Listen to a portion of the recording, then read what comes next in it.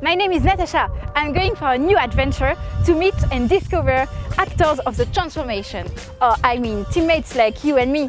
And today we are at Decathlon Petite Forêt to meet Maxime. Follow me! Bonjour Natacha, bienvenue dans notre magasin. Je suis très heureux d'échanger avec toi autour d'un sujet qui me passionne, comment j'ai décidé de changer de posture de manager à leader? Et comment t'as décidé de changer de posture? Tu viens, on échange ensemble?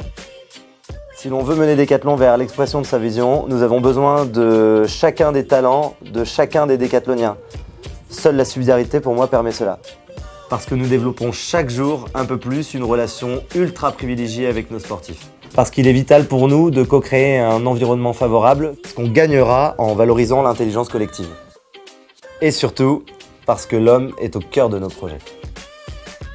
Okay, so now it gives a lot of sense to me for why this change?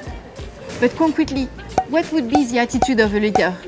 La première pour moi, somme toute la plus importante, c'est euh, la connaissance de soi. Cette capacité à prendre conscience de soi, l'alignement euh, tête-cœur trip. La seconde étape, c'est guider autour d'un projet commun, d'un projet ambitieux.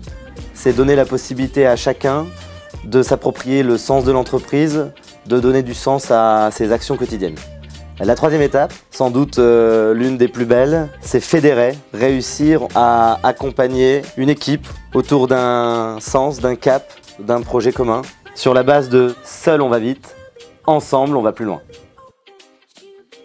If you want something, go and get it.